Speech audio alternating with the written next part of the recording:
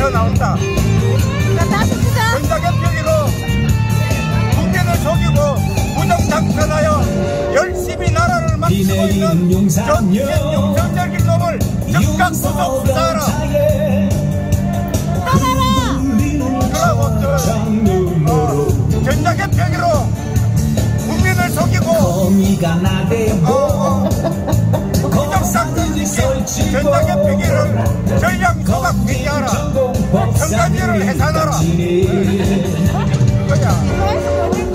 못 정말 아, 어, 쪽팔린다. 윤석열이 땡땡 이 새끼! 너무나 쪽팔려 쪽팔려! 퇴진 열차 출발합니다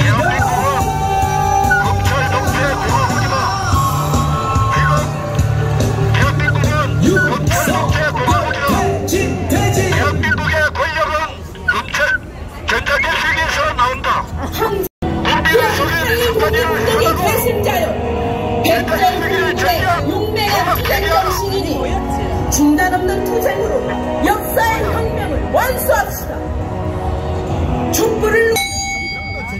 최근 윤석열 대통령이 서울중앙지검장 시절 피의자를 상대로 회의와 강압을 벌인 충격적인 사실을 선언했습니다. 조폭 검사 윤석열을 만난 건 볼까요? 문재인 정부가 들어섰던 2017년 국정원 대표의 수사 방해 사건의 수사가 시작됐습니다. 이 사건은 2012년 18대 대선 과정에서 박근혜가 유리하도록 댓글 여론을 조작한 국정원 직원을 일부 검사가 압수수색했는데요. 2013년에 국정원 해당 검사였던 이재용은 압수수색 장소를 아웃도어 곳으로 알려주고 핵심 증인을